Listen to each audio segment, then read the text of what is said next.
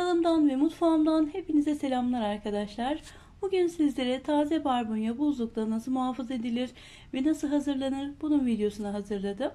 Umarım sizler için de faydalı bir video olmuştur. Benim 3 kiloya yakın taze barbunyam var. Barbunyanızı alırken mutlaka böyle iri taneli olmasına e, dikkat edin. Öncelikle barbunyalarımı ayıklamakla başlayacağım. Daha sonra yıkayacağım. Ayıklaması biraz uzun sürüyor ama inanın ortaya çıkan lezzet için e, kesinlikle değer. E, ben kızımla birlikte yarım saat içinde hazırladım. E, kışın inanın çok güzel oluyor. Eğer daha önce hiç buzluğa atmadıysanız e, mutlaka iki poşette olsun e, atın derim. Gerçekten çok lezzetli oluyor e, kışın barbunya. Hem de elinizin altında hemen e, hazır bir şekilde e, pişirebilirsiniz. Ben bu şekilde her sene 3-4 poşet atıyorum ve ara ara canımız istediği zaman çıkarıp pişiriyorum. Evet tüm barbunyalarımı bu şekilde ayıkladım. Şimdi bol suda güzelce yıkayacağım 2-3 sefer. Daha sonra tamamen suyunu süzdürmesini bekleyeceğim. E, ben 200 saat boyunca süzgece aldım. E, suyunu süzdürdüm. Hatta sonra da böyle havlu kağıt yardımıyla iyice kuruladım barbunyalarımı. Bu şekilde sulu sulu buzluğa atmayın. Tamamen kurumasını bekleyin. Evet şimdi barbunyalarım hazır. Poşetleyebilirim birer kullanımlık olacak şekilde e, poşetleyelim. Ben e, 3 kilo e, barbunyadan 4 poşet elde ettim. Ama kişi sayısına göre bunu biraz daha çoğaltabilirsiniz tabii ki. E, biz e, 5 kişilik bir aileyiz. O yüzden bu şekilde koydum. Çocuklarım küçük olduğu için çok fazla yemiyorlar. E, o yüzden e, azar azar koydum. Siz daha fazla da koyabilirsiniz tabii ki.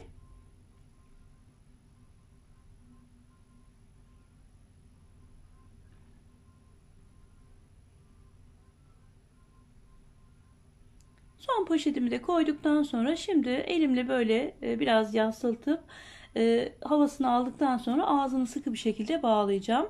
Havasını alma işlemini bir pipet yardımıyla yaparsanız daha rahat olacaktır. Ağzını önce güzel bir şekilde sıkıştırın. İçindeki havayı nefesinizle içinize çekerek hızlı bir şekilde bağlayabilirsiniz. E, bu şekilde içinde kesinlikle hava kalmıyor ve daha uzun süre buzlukta muhafaza edebilirsiniz. Aynı şekilde diğer poşetlerimi de uygulayacağım. Ee, daha sonra buzluğuma kaldıracağım. Bu pipetle hava alma işlemini e, buzluğa atmış olduğunuz tüm e, yiyeceklerde kullanabilirsiniz. Kesinlikle içinde e, hava kalmıyor. Gördüğünüz gibi çok güzel bir şekilde hem de buzluğunuzda da atmış olduğunuz yiyecekler fazla yer kaplamıyor.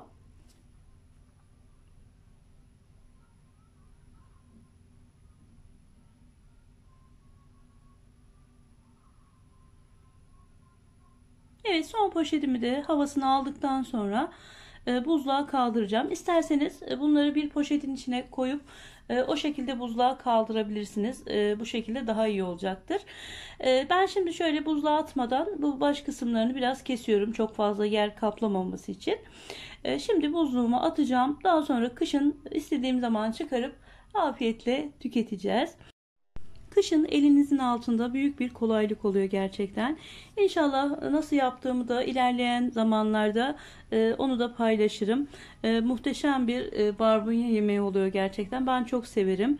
Hemen sizlere şöyle görselini de göstermek istiyorum. Bunu geçen sene yapmış olduğum bir barbunya yemeği. İnşallah bu sene de e, yaparken çekip sizler, sizler için paylaşmak istiyorum. Evet bugünlük de e, bu tarifimizin, bu önerimizin sonuna geldik. Umarım videomu keyifle izlemişsinizdir. Bana destek olmak için videolarımı beğenmeyi, ufak da olsa bir yorum bırakmayı lütfen unutmayın. Hala kanalıma abone değilseniz bu videoyu izledikten hemen sonra kanalıma abone olup yeni videolarımdan haberdar olmak için de bildirim zilini açmayı unutmayın lütfen. Bir dahaki videomda görüşmek üzere. Allah'a emanet olun. Hoşçakalın.